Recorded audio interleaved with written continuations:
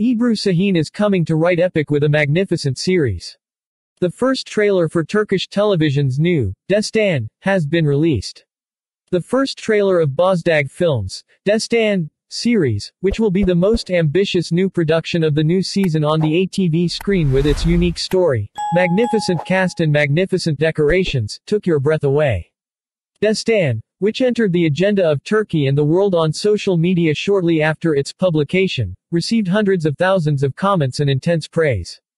In the first trailer, Akkız, played by Ebru Sahin, played, I'm the daughter of Dag, Akkız.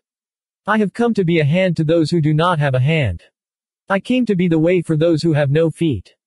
I came to make up for the deficiency, to set the slave free, to write my epic on the mountain to the sky. These words of Akkız were shared many times by social media users. With its first trailer, Destan made a big splash by entering social media trends in Turkey, Argentina, Morocco, Algeria, Egypt, Mexico and Saudi Arabia. Ebru Sahin, Selim Bayraktar and Edip Tepeli play the leading roles in Destan, the production and project design of which belongs to Mehmet Bozdag, directed by Amir Khalilzadeh and written by Ayşe Ferda Eryilmaz and Nahir Erdem. The highly anticipated Destan will soon meet the audience on the ATV screen.